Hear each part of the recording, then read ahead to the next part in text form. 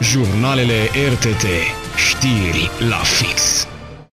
Măsuri sporite de securitate la unitatea de primiri urgențe de la Spitalul Județean după ce o asistentă a fost bruscată de un pacient băut. Femeia se află în continuare sub supravegherea medicilor după ce a suferit un traumatism cranian cu hemoragie internă în încercarea de a-l opri pe bărbatul de 28 de ani să părăsească secția de primiri urgențe. Pe numele agresorului internat acum, la Spitalul de Psihiatrie s-a deschis un dosar penal pentru lovire sau alte violențe. Vă avertizăm că urmează imagini cu puternic impact emoțional. Nu trece săptămână fără ca personalul de la urgențe să nu se confrunte cu agresiuni din partea pacienților sau a aparținătorilor aflați sub influența băuturilor alcoolice sau a drogurilor. Cel mai rău este la sfârșit de săptămână, când aproape 20 din cele 200 sau chiar 300 de prezentări la urgențe sunt pacienți beți sau care au consumat diferite substanțe interzise. Ceea ce s-a întâmplat însă sâmbătă noapte a fost mult mai grav decât de obicei. Este apogeu unei situații în care personalul medical s-a aflat într-o stare de insecuritate. Aceste zile sunt repetitive în unitatea de primiri urgențe, mai ales la sfârșit de săptămână. Uh, lucru în astfel de situații, așa cum vă imaginați, este sub o presiune incredibilă, pentru că în afara misiunii de salvare uh, a pacienților aflați în stare critică, trebuie să gestionăm cazurile de violență uh, care sunt aduse în unitatea de primiri urgențe, generate fie de uh, consum de toxice, fie de consum de etanol, fie de ambele.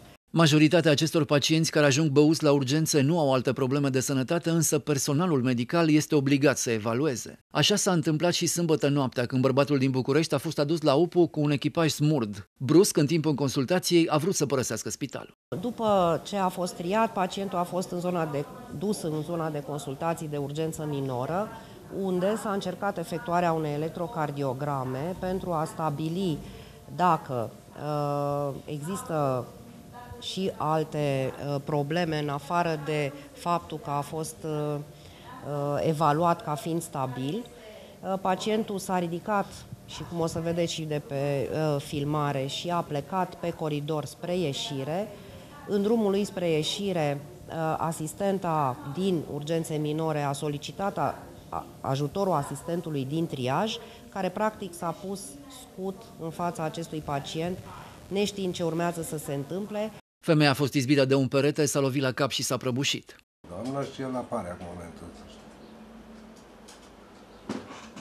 Împins-o și o tăiat. La ieșirea din urgență, agresorul a fost imobilizat de agentul de pază și de un ambulanțier și a fost chemată poliția. În dimineața zilei de 17 iunie, în jurul orei 1.45 de minute, colegii din cadrul secției 1 poliție au fost sesizați cu privire la faptul că un bărbat de 29 de ani din municipiul București, ce fusese transportat la unitatea de primiri urgențe de un echipaj smurt, aparent sub influența băuturilor alcoolice, în încercarea de a părăsi secția, ar fi împins o asistentă medicală. Aceasta s-a lovit de un perete, iar ulterior a căzut, suferind vătămări. Agresorului au fost recoltate probe de sânge, iar apoi a fost transportat la spitalul de psihiatrie unde a rămas internat. Bărbatului s-a deschis dosar penal pentru lovire sau alte violențe. Pentru a preîntâmpina astfel de situații, conducerea spitalului județean vrea îmbunătățiri de la viitoarea firmă de pază. Vom suplimenta un post de pază imediat în unitatea de primiri urgențe, astfel să fie doi agenți de pază. Uh, și uh, să sperăm că se va încheia acea procedură care este în curs de achiziții de serviciu de pază, care uh, va fi în alte condiții tehnice, cu un număr, un număr suplimentar de posturi și alte îmbunătățiri. În ciuda incidentelor de acest fel, medicii fac apel la brașoveni să nu ignore simptomele unor afecțiuni grave și să se prezinte la unitatea de primiri urgențe.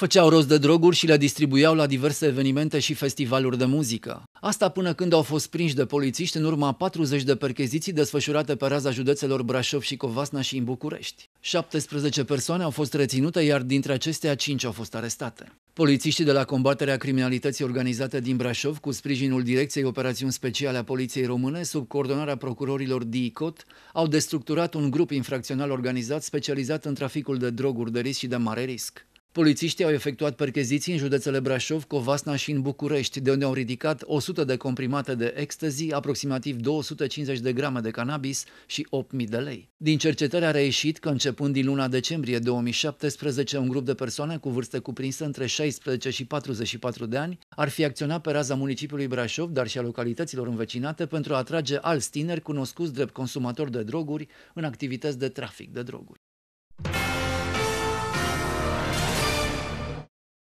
Zeci de elevi se înscriu în această perioadă în clasele profesionale sau de învățământ dual. Aici învață trei ani și au prioritate la angajare la finalizarea pregătirii. Atrăgătoare este și bursa pe care o încasează de cel puțin 400 de lei pe lună. În plus, la școală li se asigură și condițiile necesare pregătirii, cazare, masă caldă, servicii medicale private. Înscrierile la profesională se încheie marți. Cea mai căutată școală din învățământul dual rămâne școala profesională germană Kronstadt. Avem 225 de înscriși pe un număr de, 6, de 362 de locuri, uh, pe 5 calificări, operator CNC, electromecanici, sculer matrițer, sudor și confecționare articole din piele. Și calificarea operator CNC stârnește interesul elevilor.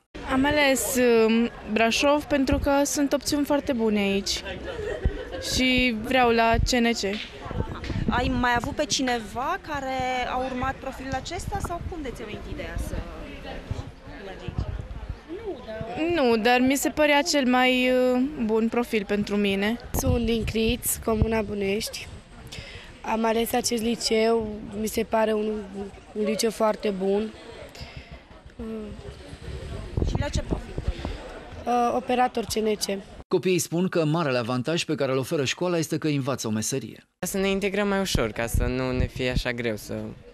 Crezi că dacă ai fi urmat un liceu, ți-ar fi fost mai greu să-ți găsești Da, pentru că în ziua de azi, cu, un, cu liceu și fără facultate, nu mai ai ce să faci.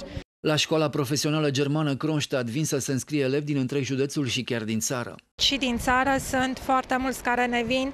Uh, aici avem o problemă cu locurile de cazare. Școala noastră neavând un uh, camin propriu, suntem uh, nevoiți să cazăm acești elevi la alte colegii din localitate sau chiar din județ. Pentru că sunt mai mulți candidați decât locuri, conducerea școlii va face și o selecție. Copiii vor susține săptămâna viitoare un test scris, un test psihologic și interviuri cu reprezentanții firmelor. În 29 iunie vor fi date și rezultatele. Dacă vor mai fi locuri libere, va mai fi organizată o etapă de înscrieri. În acest an sunt mai multe locuri la învățământul profesional și dual din județ. Doar pe învățământul dual sunt aproape 1000 de locuri față de 700 anul trecut. Am mai creat un SPGK2 cu profil electric împreună cu primăria Brașov la Remus Răduleț. Mai avem uh, create pe învățământ dual clase la Șenchia Făgăraș pe servicii și o clasă formată la Râșnov. Deci am început ușor, ușor să, să creștem învățământul dual. Absolvenții de învățământ profesional și dual pot urma mai apoi și o facultate dacă doresc. Înscrierile pentru această formă de învățământ se încheie 19 iunie. Senzor de mișcare în locuință și telefon cu GPS pentru vârstnicii singuri acasă. Senzorii vor transmite semnalul către un modul de analiză a comportamentului, iar rezultatele vor fi trimise pe telefonul mobil la persoana care are în grijă vârstnicul. Direcția de asistență socială din Primăria Brașov pregătește un proiect pilot pentru vârstnicii brașoveni care îi va ajuta să evite probleme când uită să facă anumite lucruri. Mai exact, în 20 de locuințe din oraș în care stau persoane nevăzătoare de peste 65 de ani vor fi montați senzori. Proiectul pe care l-am uh, lansat uh, ieri face referire la o cercetare pe care o, o facem uh, cu universități din Austria, Belgia și Italia și, bineînțeles, cu forul nostru de la nivel local, Universitatea Transilvania. Acesta se referă la montarea unor senzori de prezență în domiciliul vârstnicilor pentru a depista dacă aceștia au semnele vitale, dacă utilizează suficient de mult Um, de exemplu frigiderul, pentru a, fi, a ști că sunt uh, alimentați corespunzător. În plus, seniorii vor avea și telefoane cu GPS. Prin intermediul telefonului se dorește montarea unui sistem de tip uh, GPS pentru a ști în orice moment unde se află persoanele vârstnice. Cei Informație, care da, informația este foarte importantă atât pentru îngrijitorii noștri la domiciliu, pentru noi ca și specialiști, dar și pentru membrii de familie ai vârstnicilor.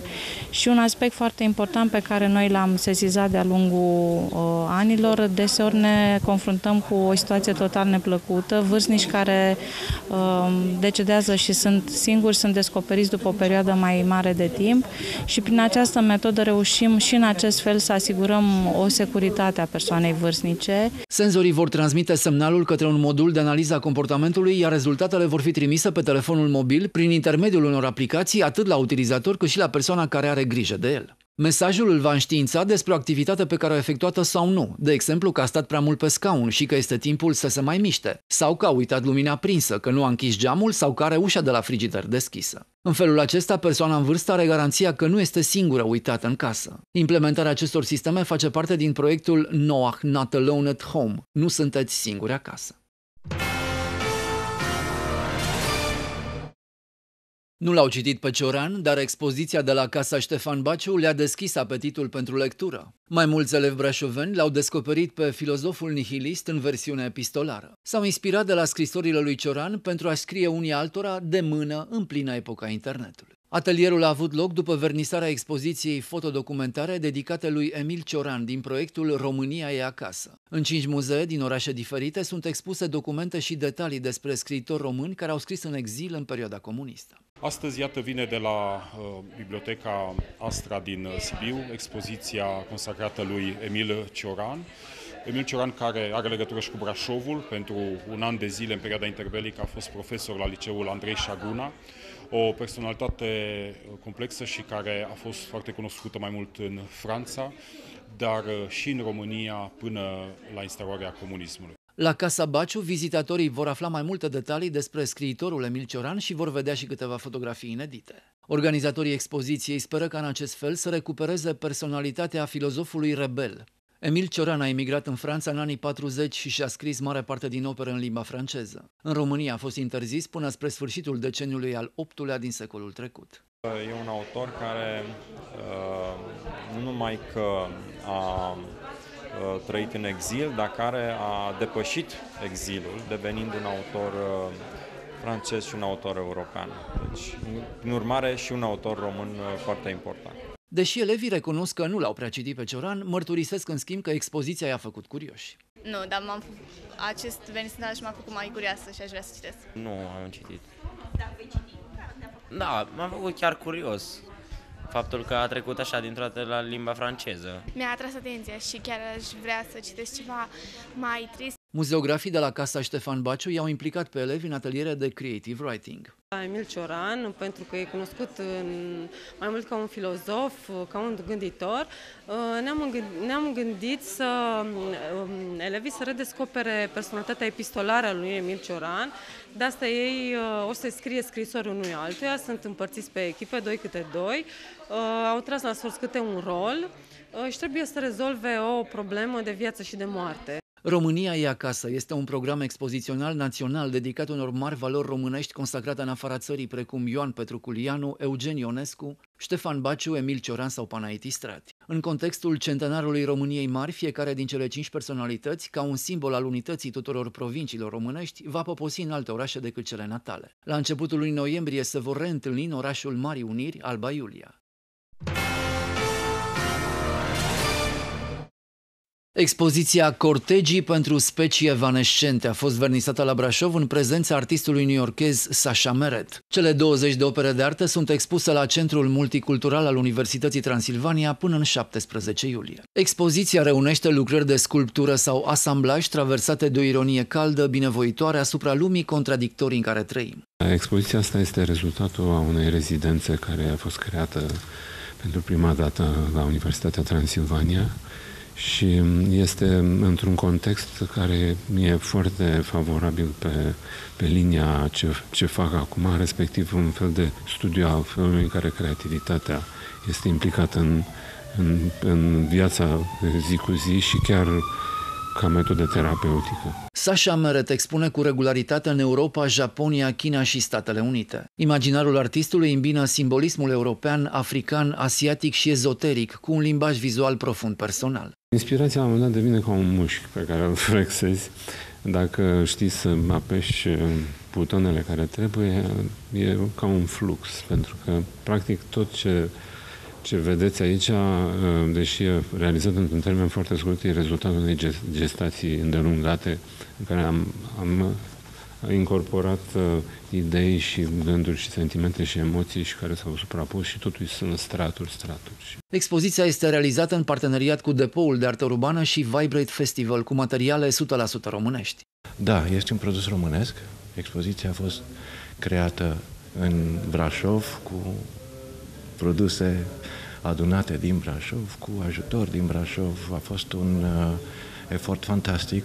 În, uh, într-o lună s-au adunat peste 20 de obiecte de artă S-a muncit între 12 și 14 ore pe zi. În 2014, Sasha Meret a fost laureatul prestigiozului premiu Coda Video la categoria Artă Conceptuală. A colaborat săptămânal timp de mai mult de 20 de ani ca ilustrator pentru publicațiile New York Times, International Herald Tribune și Washington Post. Sasha Meret a susținut la Brașov și conferința Creativitate versus Parkinson, o explorare a funcției terapeutice artei și a rolului fundamental al acesteia în încetinirea progresiei bolii. O decizie a patronului complexului de la cheile Grediște a panicat lumea sportivă. Sportivi de performanță și iubitori ai sportului în general au crezut în primă instanță că Ovidiu Gârbacea s-a hotărât să nu mai găzduiască competițiile sportive care au făcut faima complexului. În realitate, Gârbacea a decis să întrerupă pentru un an, doi, activitatea clubului pe care îl conduce, nemulțumit de prestația celor trei sportivi ai clubului calificați la Jocurile Olimpice desfășurate în această iarnă la Pyeongchang. Am avut trei la Olimpiadă. Noi, noi pe, pe linia asta facem o pauză așa de vreun an. Ah, deci, da. Adică noi cu clubul, un an, doi, vedem noi. Au mers un pic mai, au mers mai slab decât când erau la club. La CESE, cheile grediște au activat printre alții biatloniștii Gheorghe Pop și Marius Ungureanu, cel care a fost pordrapelul României la festivitatea de deschidere a Olimpiadei de la Pyeongchang. Prin urmare, complexul de la cheile Grediștei va continua să găzduiască competiții de anvergură pe plan internațional. A fost cazul campionatelor mondiale de biatlon role, al campionatelor mondiale de biatlon junior și tineret, campionatelor mondiale de schi nordic junior și tineret, probelor de biatlon din cadrul FOTE. Chiar în weekendul trecut, complexul a fost gazda unei renumite competiții de maraton.